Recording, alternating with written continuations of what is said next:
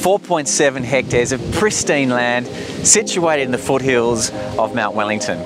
Some would say a quintessential piece of Tasmanian real estate, but we would like to refer to it more as a sanctuary.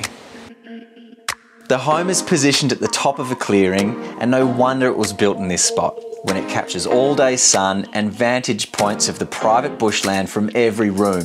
And you have the treasured opportunity of enjoying it all within 15 minutes to the CBD. The bedrooms are serviced by fresh bathrooms, and the home boasts multiple living options, which is catered to from a beautiful timber kitchen featuring native stone bench tops.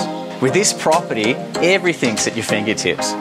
But when you stand here, you feel like you're a world away and that's what a home should feel like a sanctuary.